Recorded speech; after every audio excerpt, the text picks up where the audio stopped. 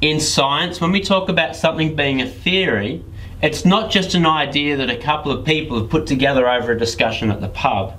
It is a well established explanation of a phenomenon which is backed up with uh, evidence and research. So it's well established. So when we talk about the theory of plate tectonics, there's a lot of evidence to support the fact that this explains how the tectonic plates move to cause earthquakes and how they've moved over time to change the shapes of land masses and continents, etc. So let's talk about that theory of plate tectonics and to do that we need to remember the structure of the earth. So firstly we've got our crust which is a very very thin layer compared with the diameter of the earth.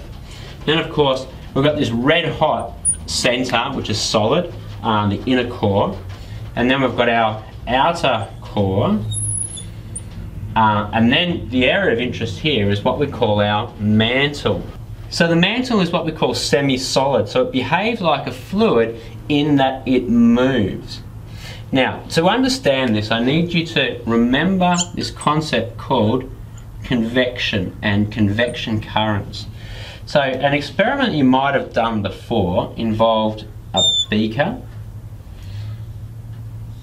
that you heated up on uh, using um, a Bunsen burner the flame. Now, if you put some grains of um, maybe tea leaves or, or something you can see, or even if it was just a food dye, you would have seen that what happens with the water is as it heats up, the water actually moves in this direction.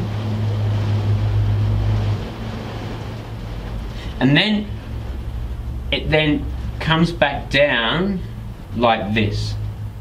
Now, why does that happen? All right, so the water down the bottom of the beaker is hotter because of the flame. Because it heats up, the particles are moving faster, particle theory, they take up more space, they expand, they become less dense. And because it's less dense, it floats, so it actually rises.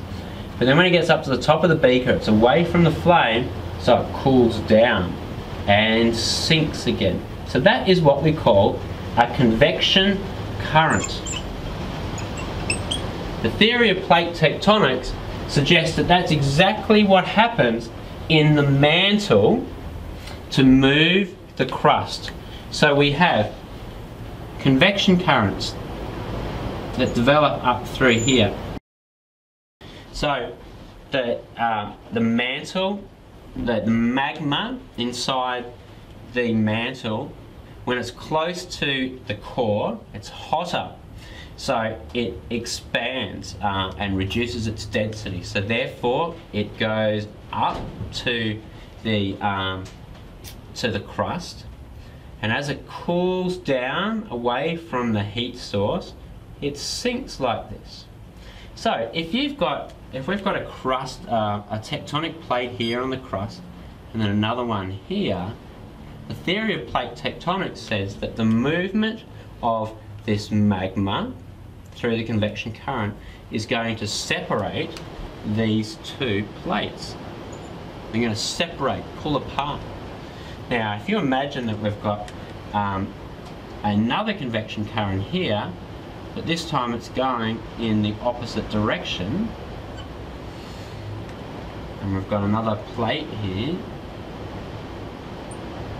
so this one's going this way and this one is going this way so we've got these two plates pulling apart we've got these two plates pushing together and then we've got a third option which we're going to talk about in another video we've got three types of plates plates that pull apart plates that push together and a third type where they they um, move across each other like that, or shear. Okay, so basically what we're saying is it's a convection current of the magma in the mantle.